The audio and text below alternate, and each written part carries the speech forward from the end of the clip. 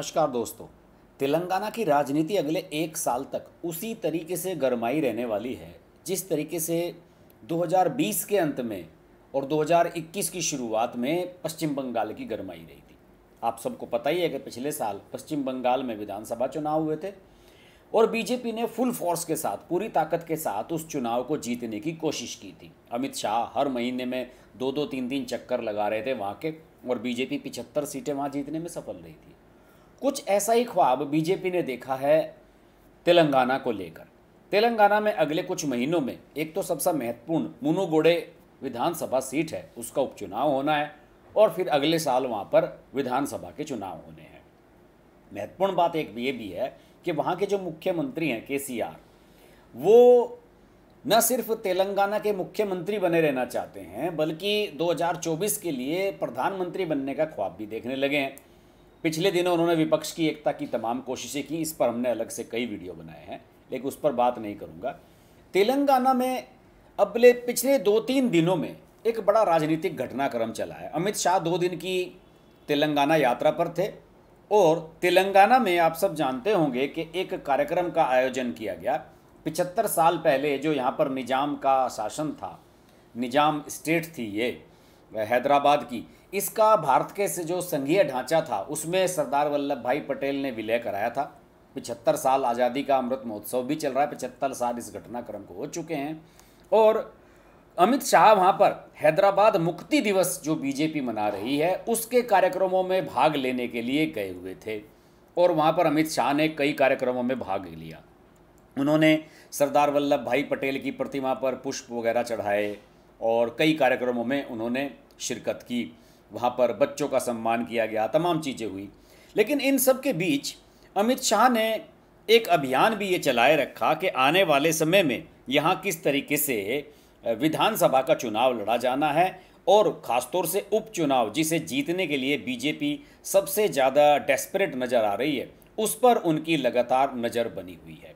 दूसरी ओर के भी अपना आयोजन कर रहे हैं। इन्होंने हैदराबाद मुक्ति दिवस मनाया तो उन्होंने कहा कि हम इस इस दिवस को तेलंगाना राष्ट्रीय एकता दिवस के रूप में मनाते हैं और उन्होंने अलग से अपने कार्यक्रम आयोजित किए। उन्होंने जो आदिवासी नेता रहे हैं, उनके कुमार भीमन उनके लिए उन संत सेवालाल बंजारा हाउस के नाम से एक भवन का शिलान्यास किया। ये उनके बेटे हैं के उन्होंने भी कुछ कार्यक्रमों में हिस्सा लिया। इसमें, दोस्तों, जो सबसे महत्वपूर्ण बात मुझे समझ में आई है, वो ये है कि अगले साल होने वाले विधानसभा चुनाव को लेकर कई डेवलपमेंट इसमें देखने को मिले। बीजेपी ने जो हैदराबाद मुक्ति दिवस मनाया, उसकी कुछ खास बात है। बीजेपी ने आरोप लगाया कि वोट बैंक की राजनीति के कारण तेलंगाना में हैदराबाद मुक्ति दिवस अभी तक आधिकारिक तौर पर नहीं मनाया गया था। वहीं केसीआर ने कहा कि सांप्रदायिक ताकतें समाज को बांटने का प्रयास कर रही हैं और दोनों के बीच में बहसबाजी और आरोपबाजी लगातार चलती रही। अमित शाह ने हैदराबाद में परेड मैदान में हैदराबाद मुक्ति दिवस के अवसर पर झंडा फहराया। उन्होंने कहा कि यह दुर्भाग्यपूर्ण है कि तेलंगाना में वोट बैंक की राजनीति के कारण हैदराबाद मुक्ति दिवस अभी तक आधिकारिक तौर पर मनाया ही नहीं गया था। और बीजेपी आप जानते ही हैं कि सरदार वल्लभ पटेल को कांग्रेस के हाथ से छीन कर उनकी स्टेचू ऑफ़ यूनिटी यूनिटी लगाकर बहुत सारे बड़े बड़े आयोजन करके बीजेपी सरदार वल्लभ भाई पटेल को पूरी तरह से भाजपा भाजपा ही बना चुकी है और ये उनके भाजपा के एजेंडे पर है। और ये हकीकत बात है कि पिछहत्तर साल हो जाने के बाद भी जो इसे भारत के अंदर मिलाया गया था और उस, वेंकैया नायडू भी एक कार्यक्रम में भाग लेने के लिए हैदराबाद में तो उन्होंने कहा कि योजना तो ये बन रही थी कि हैदराबाद को पाकिस्तान का हिस्सा बनाया जाए। यानी कि पाकि तीन पाकिस्तान बनते। एक पाकिस्तान वो, जो अब है, दूसरा वो, जो बांग्लादेश था, और तीसरा साउथ में बनाया जाता। इस तरह का विभाजन करने की योजना थी। उन्होंने आरोप लगाया कि कांग्रेस की पॉलिसी तो ये थी, लेकिन सरदार वल्लभ भाई पटेल ने कहा कि ऐसा संभव नहीं है। और इस तरह का उन्होंने क्रेडिट लेने की कोशिश की। लेकिन इन सब के बीच एक जो घटनाक्रम हुआ है, हैदराबाद इसे मुक्ति दिवस कहिए या फिर तेलंगाना राष्ट्रीय एकता दिवस कहिए, कुछ भी कहिए, मैं इस डिबेट में नहीं जाऊँगा। लेकिन इसको लेकर जो एक बड़ा राजनीतिक घटनाक्रम हुआ है, वो ये हुआ है कि के ने यहाँ पर जो आदिवासी कम्युनिटी है, यानी कि शेड्यूल ट्राइब्स हैं जो, उनको आरक्षण छः प्रतिशत से बढ़ाकर दस प्रतिशत करने का ऐलान किया है। और इस तरीके से उन्होंने एक बड़ा दांव छेल दिया है। अब गेंद उन्होंने पाले में फेंक दिया केंद्र के, बीजेपी सरकार के, कि अगर आप इसको मंजूरी नहीं देंगे, इसमें कोई अड़चन लगाएँगे तो आपको दिक्कतों का सामना करना पड़ेगा। बीजेपी से आदिवासी वर्ग नाराज़ हो सकता है। 2011 की आबादी के मुताबिक लगभग 32 लाख यहाँ पर आदिवासी हैं, जो ऑन रिकॉर्ड है, लेकिन कहा जा रहा है कि अब चूँकि ये जनगणना हुए 11 साल हो चुके हैं तो अब इनकी जो आबादी है, वो 40 लाख को क्रॉस कर चुकी है। और हैदराबाद और इसके आसपास और जो तेलंगाना के जो जंगल वाले इलाके हैं, तेलंगाना इतना बड़ा स्टेट भी नहीं है, वहाँ पर वास्तव में आदिवासियों का हर जगह बोलबाला है। आपने फ़िल्म देखी होगी, अभी जो आर आर आर फ़िल्म आई थी, उसमें एन टी आर जूनियर ने जो रोल प्ले किया था, एक आदिवासी युवक का किया था। कुमार भीमम क्या नाम था उनका? वो आदिवासी जो हुए हैं, बड़े एक नेता यहाँ के, उनके कैरेक्टर को ही एक तरह से उन्होंने सिंबलाइज किया था। इसी वजह से अमित शाह पिछली बार गए थे। तो उन्होंने मुलाकात की थी एनटीआर से भी। और इस बार गए हैं तो वहाँ उन्होंने पी गोपीचंद, जो बैडमिंटन के वर्ल्ड नंबर वन खिलाड़ी रहे हैं इंडिया की तरफ़ से और कोच रहे हैं पीवी सिंधु के, उनसे मुलाकात की। अमित शाह हर बार जाते हैं तो किसी ना किसी से मुलाकात ज़रूर करते हैं। बहरहाल, केसीआर ने जो ये दांव चला है कि आरक्षण छः प्रतिशत से बढ़ाकर दस प्रतिशत कर दिया जाए, अगर ऐसा होता है, अगर इसे मंजूरी मिलती है तो आप जानते हैं कि सुप्रीम कोर्ट ने एक कैप लगाई हुई है कि पचास प्रतिशत से आरक्षण कहीं भी नहीं हो सकता। मैक्सिमम लिमिट है। और अगर छः प्रतिशत से ये दस प्रतिशत हो जाता है तो हैदराबाद और तेलंगाना में पूरे पचास प्रतिशत आरक्षण हो जाएगा। और कैसे? मैं आपको बताता हूँ। यहाँ पर शेड्यूल कास्ट के लिए पंद्रह प्रतिशत आरक्षण है। शेड्यूल टाइप, ट्राइब्स के लिए, एसटी के लिए जो मैंने बताया छः प्रतिशत है, जिसे दस प्रतिशत करा जा रहा है। और बैकवर्ड क्लास के लिए और मुस्लिम्स के लिए ट्वेंटी नाइन परसेंट है कंसोलिडेटेड इसमें चार अतिरिक्त, चार प्रतिशत अतिरिक्त मुस्लिमों के लिए आरक्षण है। और इन सब के लिए जो आरक्षण की टोटल स्ट्रेंथ है, वो पचास प्रतिशत इस तरीके से हो जाती है। देखिए, शिक्षा और नौकरी में आरक्षण मिलना पूरे देश में, प्रदेश में, किसी भी स्टेट में चले जाइए, एक बड़ा मुद्दा है। ये एक वोट बैंक टूल की तरह हमेशा से राजनीतिक दल इस्तेमाल करते रहे हैं। अब बीजेपी यहाँ इस बात का भी विरोध कर रही है। बीजेपी कह रही है कि आपने चार प्रतिशत अतिरिक्त जो मुस्लिम आरक्षण दिया हुआ है, अगर हमारी तेलंगाना में सरकार बनी तो हम उसे खत्म कर देंगे, क्योंकि मुस्लिमों को आरक्षण देने का प्रावधान कहीं भी नहीं है।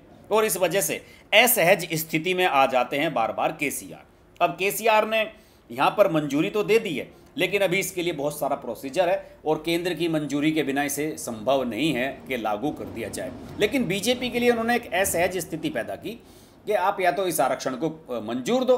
मंजूर करोगे तो क्रेडिट के सी को जाएगा और अगर रोकोगे तो फिर इसको रोकने का क्रेडिट बीजेपी को जाएगा।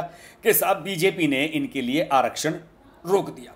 लेकिन फ़िलहाल जो राजनीति है यहाँ पर, वो इतनी गर्मा चुकी है कि बस पूछिए मत। और आप सब जानते हैं कि मुनुगोड़े का जो विधानसभा चुनाव होने वाला है, वो सब बहुत जल्द होने जा रहा है। मेरे ख्याल में एक महीने के अंदर हो जाएगा। कांग्रेस के बड़े नेता हैं राजगोपाल। वहाँ के विधायक थे, वो छोड़कर बीजेपी में आए हैं। और बीजेपी का ये मानना है कि अगर हमने ये मुनू गोड़े का विधानसभा चुनाव जीत लिया, उपचुनाव जो भी हाल फ़िलहाल होने जा रहा है तो अगले साल बीजेपी को यहाँ सरकार बनाने से कोई नहीं रोक सकता। कुछ सर्वे आए हैं, कुछ रिपोर्ट आई हैं, उनका ये मानना है कि बीजेपी यहाँ तेज़ी से इमर्ज कर रही है। इनके चार सांसद भी हैं तीन चार इनके विधायक भी बन चुके हैं, और पिछले कुछ दो तीन साल से में जितने भी विधानसभा के उपचुनाव तेलंगाना में हुए हैं, सारे बीजेपी ने जीते हैं। तो इस तरीके से इनके लिए असहज स्थिति बन रही है। और बहुत सारी चीज़ें चल रही हैं। इनके जो बेटे हैं के टी आर उन्होंने कल एक ट्वीट भी किया कि चौहत्तर साल पहले एक केंद्रीय मंत्री, सरदार वल्लभ भाई पटेल के बारे में कहा, तेलंगाना के लोगों को भारतीय संघ में एकीकरण एवं विलय करने के लिए आए थे। और आज एक केंद्रीय गृह मंत्री तेलंगाना के लोगों एवं उनकी सरकार को बांटने एवं उन पर ध्वंस जमाने के लिए आए हैं। इसलिए मैं कहता हूँ कि भारत को विभाजनकारी राजनीति नहीं, बल्कि निर्णायक नीतियों की ज़रूरत है। आप सब जानते हैं कि के जो उनके बेटे हैं, ये एक प्लान बन रहा है कि अगर इस बार फिर से एब्सोल्यूट मेजोरिटी के साथ टीआरएस की सरकार यहाँ पर विधानसभा में बनती है तो इस बार के चंद्रशेखर राव चीफ मिनिस्टर नहीं बनेंगे। अपने बेटे के टी आर को, उनको वो यहाँ का मुख्यमंत्री बना देंगे। और इसी सब के लिए वो प्रयास कर रहे हैं। उनकी योजना तो यही है कि अपने बेटे के टी आर जो यहाँ दिख रहे हैं आपको, इनको यहाँ का मुख्यमंत्री बनवा दूँ और 2024 में खुद प्रधानमंत्री बन जाऊँ देश का। लेकिन के टी आर का ये ख्वाब बहुत दूर है।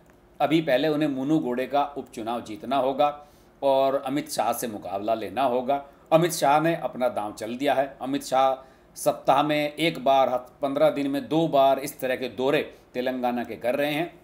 और उन्होंने तेलंगाना में जो हैदराबाद मुक्ति दिवस के कार्यक्रम है, उसमें साफ़ कह दिया, अगर बीजेपी ने मुनुगोड़े की विधानसभा सीट जीत ली, उपचुनाव जीत लिया तो फिर अगले साल होने वाले विधानसभा चुनाव में बीजेपी को यहाँ सरकार बनाने से कोई नहीं रोक सकता। बहरहाल, तेलंगाना में के ने भी अपना दांव चला है और अमित शाह ने भी अपना दांव चला है। देखते हैं, आने वाले समय में किसे सफलता मिलती है। तेलंगाना के ऊपर मैंने बहुत सारे वीडियो बनाए हैं। और अगर ये वीडियो आपको पसंद आए, इसको लाइक कीजिए शेयर कीजिए। चैनल को सब्सक्राइब कीजिए नोटिफिकेशन के लिए बेल आइकन ज़रूर प्रेस कर लीजिए। और जुड़े रहिए हर्ष की बात लाइव के साथ। नमस्कार। अगर आपको हमारी वीडियो पसंद आई तो वीडियो को लाइक करें चैनल को सब्सक्राइब करें और नोटिफिकेशंस के लिए बेल आइकन को प्रेस करें।